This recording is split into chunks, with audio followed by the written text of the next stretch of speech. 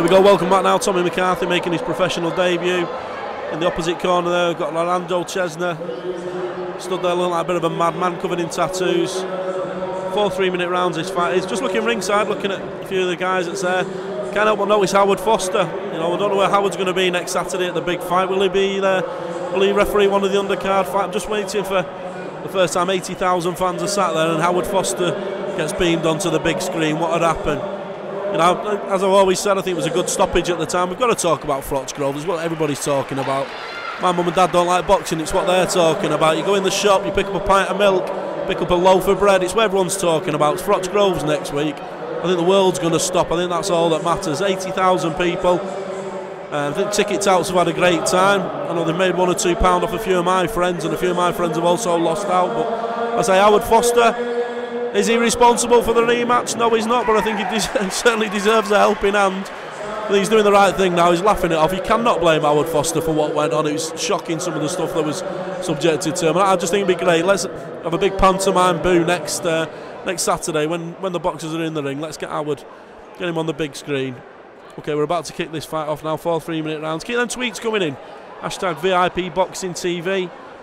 Keep them coming in. Hashtag VIP Boxing Live. Keep them coming in. Any questions, anything you want to know about the future schedule from Steve Wood and his lads, anything about the stream, anything about the team, get in touch. We'll give you a mention. We'll answer your question. Enjoy the show. Two lads who look like they're going to go at it here. Brace yourself.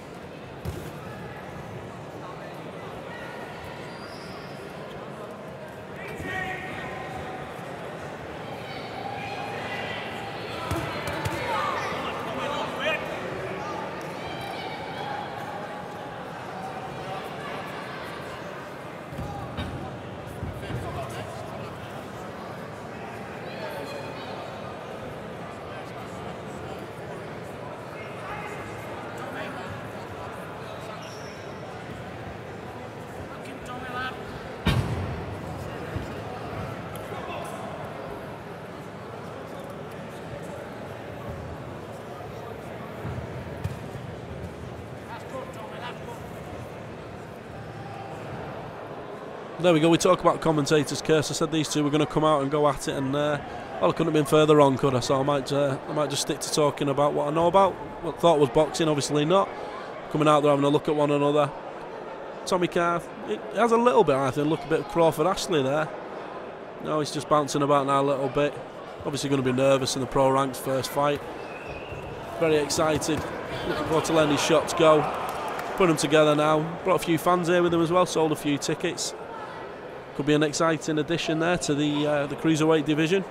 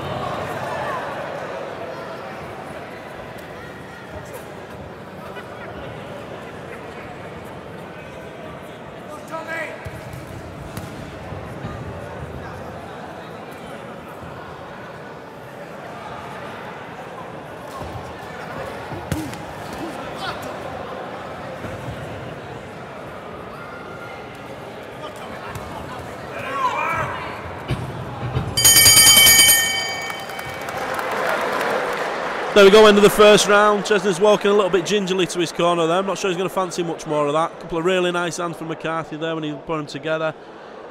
Doubled up a couple of times in his corner there. Now he's just gone back. We've got Bernardo Checker. Also got Patsy McAllister in the corner there for McCarthy tonight. See the referee there scoring it. Pretty straightforward. It's a 10 9 that. McCarthy's going to want to get him out of there. These big lads, when they turn over, the cruiserweights, like heavyweights, super middleweights, heavyweights, all about getting your opponents out of there, building your record. Another lighter welts like to get them out of there. But as a cruiserweight, that's what you want to be known as. It's when you want to be marketed as. You want to be marketed as a cruiser. The days of Johnny Nelson and the you know the stylists, if you like, they're, they're kind of gone now. Everyone wants to be the next David Haye. Everyone, you know, we're still looking for the next Mike Tyson in the heavyweight division now. And that's what these lads are doing. That's what they're doing when they're coming through now. Second round coming up. I say, I fancy McCarthy get him out of there next couple of rounds. Let's see if we can make up for the, the shambles I made of the prediction before we started. Don't forget, tweet us, hashtag VIP Boxing Live. Keep them coming in.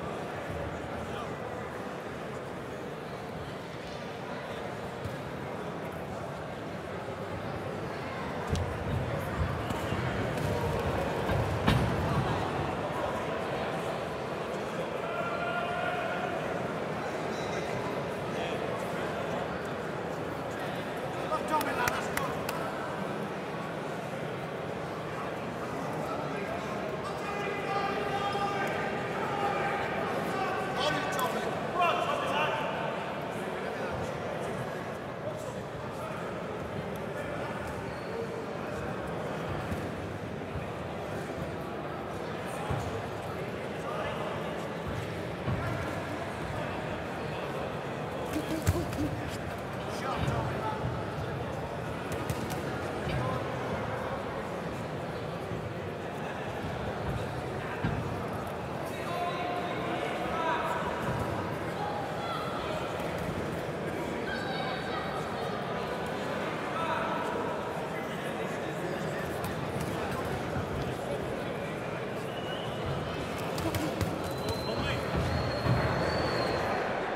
Yeah, there's less and less coming back from Cesna. I fancy McCarthy. I think he fancies it himself now. A little bit more of a snap, a little bit of sharpness to his punches. Certainly a lot sharper than the first round. Seems a little bit more confident in himself. Did have a bit of a warning for a low blow. Referee telling him and ticking him off. I think he just allowed him to get back to his corner. Just like he's putting shots together a lot better now. One twos, winging in that right up, bringing it round the side, trying to get his gloves down. I think he'd be. Uh, I think he'll look to go the body again. But uh, there's a couple of wild right hooks going there. A couple of them got through. Referee's having a little look at it. I've seen Cesna on these shows a couple of times. Normally a tough, durable kid. Um, I said McCarthy seems to be getting through, so it's to be hurting him. Showing his hurt there to the body. Again, right hand doubling up. I don't think the referee's going to let this go on much longer. I can see him jumping in. It's a little bit of time left in the round. McCarthy admiring his work there. Got last 10 signal now from the timekeeper at ringside. I don't think he's going to get him out of there this round. We're going to move to the third round. We'll catch up with some tweets. Okay, let's see what's been coming through tonight. Last last couple of minutes or so. We've got Gary Nell. Is there a body underneath that tattoo? It's a good shout, mate. I'm not too sure. I won't be going checking. That's that's for one. We've got Barry Rooney. Come on, big Tommy Matt. Let's do the business. Certainly seems to be a popular kid. Ryan Glynn, great coverage. Gary Sykes and Tony Aitken. Looking forward to seeing them guys do the business. The new Resin Drives, good luck boys. Miggy, Kyle, Linney and the rest of Newrins Drives, we're in your corner. Matthew Hay, send them kids up here. Tell you something, mate, that's great. I'll DM you my number in a minute. They've, they seem to have gone quiet. I don't condone giving alcohol to kids, but since we give them about eight, eight half a lagers, they've gone lovely and quiet anyway. So uh, that seems to have done the business. Adam Roberts, Bolton Terrier, loving the commentary. Tar for the ale on Wednesday. It's all right, mate. I'll be two next time I see you. That's the way we work. Real Dewsbury News getting behind there, lads, backing the local lads to win. Paddy Barnes, come on, Tommy McCarthy, VIP Boxing Live. And uh, that's it, yeah, we'll catch up. Keep the tweets coming in. Hashtag VIP Boxing Live. Here we go, third round now coming up. Referee's having a little look at the pair of them now. I think Tommy needs to come out. Just get behind that jab straight away now. Needs to get him out of there. Don't want to drag this on now for four rounds.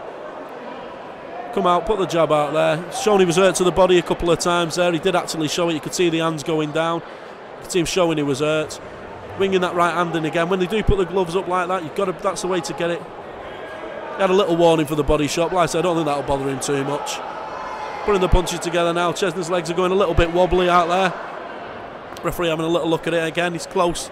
he was close to stepping in in the second round as well. It's less and less coming back, and that's it. The referee waves it off. Tommy McCarthy, welcome to the professional ranks. Third round stoppage. Doesn't seem to be too much of a complaint there. Good performance. Just joined by Steve Wood, just popping up here, just checking everything's all right with coverage. Dressed quite smartly tonight. Got a nice little uh, red and white striped shirt on. Looks like his missus has dressed him, so well done, Lynn. You're you're, uh, you're responsible for how smart Steve looks tonight. Luckily, he's out of earshot, so he won't get to hear that till tomorrow. I know the camera's going to try and get onto him then, but uh, no. It's going to go over to Michael Pass again now. We'll get the uh, get the result, get the official results, shall I say? And then, like I say, we're moving on. Next in the ring, we've got the local lad, Tony Aitchison. Tony sold a few tickets, I think all of the lads who he sold tickets to like a beer and a burger because the bar's absolutely heaving with uh, with the Dewsbury lads. I've also heard the first two smokes Barmy Army chants, so I think the mini buzzes are pulling up now for uh, for John and his and his fans, his friends, his family. It should be a cracking show. The atmosphere is building more and more. Here we go now. Going to go and get the official results off Elvis, aka Michael Pass.